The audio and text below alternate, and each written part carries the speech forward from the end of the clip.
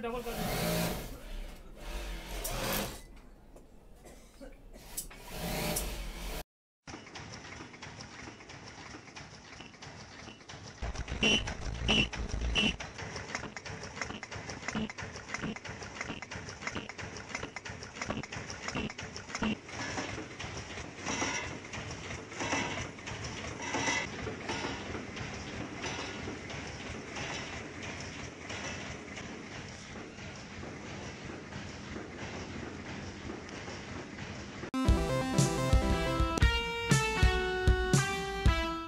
Witajcie na kolejnym wykładzie Magistra Wykładziny. E, Dzisiaj porozmawiamy sobie o morgelonach. Jak sami zauważyliście, ostatnio pojawiły się, albo nie zauważyliście, pojawiły się filmiki, że w takich maseczkach, o w takich, e, też w takich, e, czy na patyczkach, czy na tamponach, podpaskach, pojawiły się, jakby to nazwać, małe robaczki które zachowują się tak czy inaczej. Zanim będziemy kontynuować, to zobaczcie, nagrałem dla Was taki materiał. To eksperyment, który każdy z Was może wykonać. Potrzebujemy mocne światło, tak? I widzicie te białe rzeczy, które latają? Ja spróbuję z ubrania. Zobaczcie. To wszystko leci z ubrania. To wszystko jest z ubrania. Tu jest moja ręka doświetlona. I tu wszystko z ubrania. Widzicie? I to zostaje w powietrzu. O, kocik. Ok, zainteresował się. Dobrze. I to wszystko leci z ubrania, także potrzebujemy latarkę. Dobra, to ustawmy latarkę na najmocniejsze i zobaczmy, zobaczcie, jak dużo rzeczy lata w powietrzu. Tak? Ja teraz załączę światło, zabiorę i czy widzicie jakieś z tych rzeczy? O, od góry będę oświetlać. Od góry świecę. Nie widać nic. A jeśli zrobię coś takiego? Widzicie? Czyli w tym strumieniu światła widać te zanieczyszczenia. Ja to teraz spróbuję. O, to jest ze zwykłego rękawka od z długiego rękawka z bluzy. I zobaczcie, ile teraz tego lata. Ale znowu poświecę z góry. Troszkę widać, bo tutaj natrzepałem, ale teraz już nie widać tych rzeczy. I znowu możemy zobaczyć, że tutaj latają. I te rzeczy osiadają na takich maseczkach. To wszystko, co jest, co wszystko sobie lata, osiada na takiej maseczce i się do niej przykleja przykleja się tak, jak przykleiło się do tego ubrania, bo przecież ta, ona nie ma na sobie nie wiadomo ile brudu. I teraz znowu, zobaczcie, sami możecie zrobić sobie ten eksperyment. To jest normalny eksperyment, zwykła latarka z mocnym światłem, odpowiednio podświetlone. Oczywiście, jeśli świecę jakoś inaczej, widzicie, teraz zniknęły. Teraz poświecę w ten sposób, widać i mimo, że w tle słyszycie taki wentylator, który jest z oczyszczacza, to nie jesteśmy w stanie wszystkiego tego zabrać. Można też inną latarkę użyć, taką na przykład z regulacją, żeby był strumień bardzo, bardzo skupionego światła i ten sam eksperyment. Widzicie, i wtedy konkretnie w tym strumieniu światła jesteśmy w stanie sobie zobaczyć. Jeszcze zgaszę światło, żebyście zobaczyli jeszcze bardziej to. I teraz zobaczcie, tam gdzie świecę, to coś takiego się dzieje. Widzicie? O to chodzi. A jak zrobię, o, tak to wygląda to światło. Nie widać tu za bardzo tego. O, tu jakieś coś z sierści, czy cokolwiek innego. A tu to wszystko widać. O. samo zobaczcie. Ja tutaj na tej maseczce nie znalazłem jakichś rzeczy, ale w promieniowaniu UV już pewne rzeczy można dostrzec, jakieś takie malutkie. Przy takim powiększeniu jak widać, o, widzicie tutaj, o, w tym miejscu, tutaj. Teraz zobaczcie, czy widać to? Zgaśmy światło. Widać ten element? Tutaj świecący. Są jakieś inne elementy? tutaj gdzieś przemieszczają się? Nie. Ten tutaj element jest właśnie tym włóknem. Zobaczmy, czy jakieś inne włókna tutaj zobaczymy. Jakieś elementy takie. No nie ma. Tutaj jest ten jeden element, który, który tak wygląda. Zobaczmy, jak on się będzie zachowywać pod wpływem ciepła. Mamy tutaj gorącą wodę, 71 stopni. Dobra, zobaczmy. Damy sobie ten materiał tutaj, podświetlimy sobie ultrafioletem i zobaczmy, czy coś będzie się z tym działo. Zobaczcie, co się dzieje. Widzicie? To, które świeci. Ono jest zupełnie białe, tego włoska nie widać, dopiero pod wpływem promieniowania ultrafioletowego. Dam to jeszcze tak nad garnek. O, troszkę. Widzicie? Ten, ten element, ten włosek delikatnie się prostuje. O! Tu się przemieścił.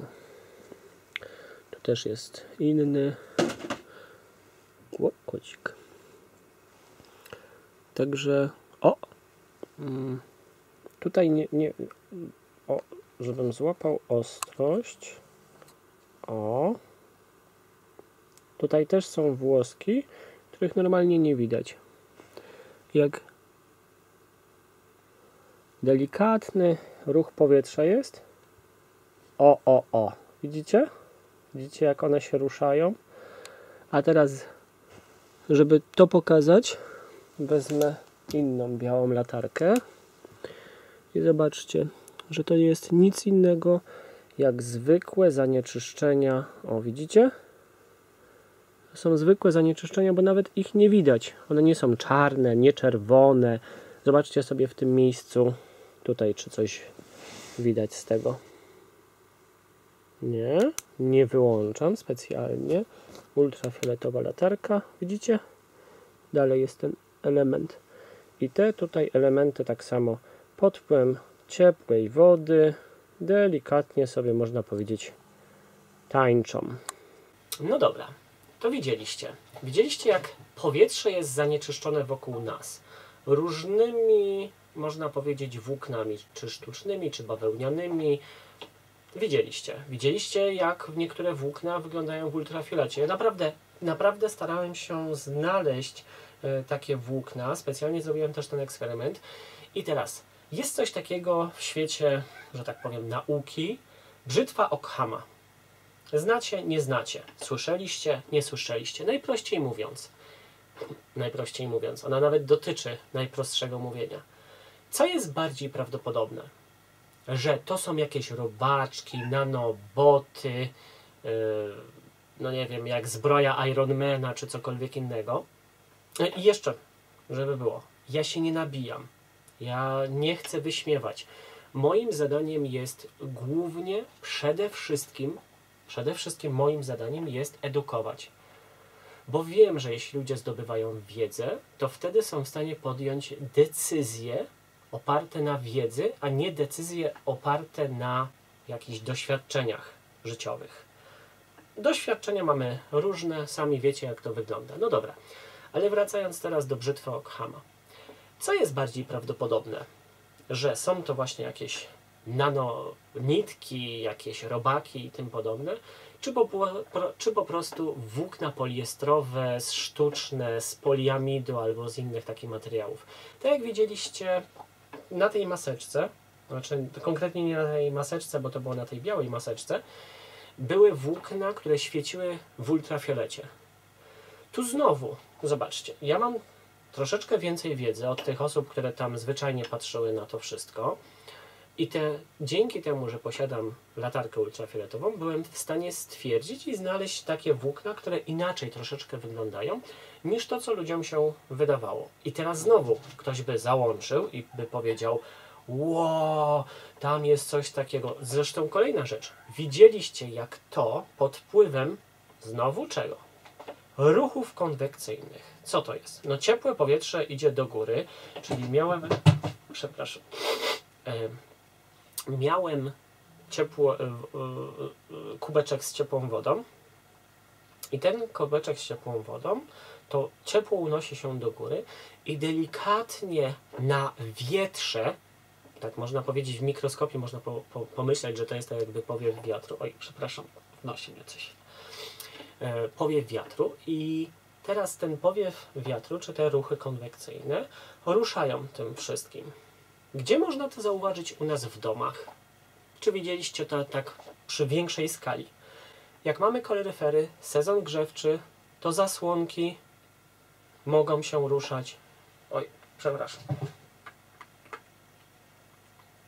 Ach.